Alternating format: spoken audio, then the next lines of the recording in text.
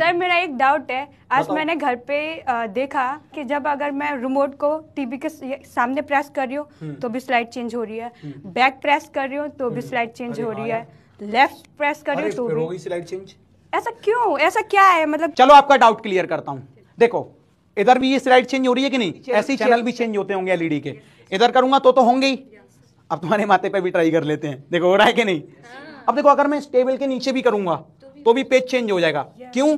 क्योंकि ये क्या है अपना ट्रांसमीटर। यहाँ से इंफ्रा रेड वेव निकलती है और ये रिसीवर है। इसे वेव को रिसीव करना है तो इसे जैसे ही सिग्नल मिल जाएगा ये पेज को चेंज कर देगा। होता क्या है जैसे ही यहाँ से वेव निकलेगी तो वहाँ टकराएगी। अब मैं ये डायरेक्शन दिखा रहा हूँ तो वहाँ टकराएगी। तो रिफ्लेक्ट होकर भी ये रिसीव हो सकती है। इसीलिए ये चेंज हो जा रहा है। तो ऐसा ज़रूरी नहीं है कि स्ट्रेट लाइन में ही रे चले। वो रिफ्लेक्ट होकर वापस यही रिसीव हो गई तो भी ये चेंज हो जाएगा। अब रूम से बाहर ले गए फिर? रूम से बाहर ले गए तो तो नहीं होगा चेंज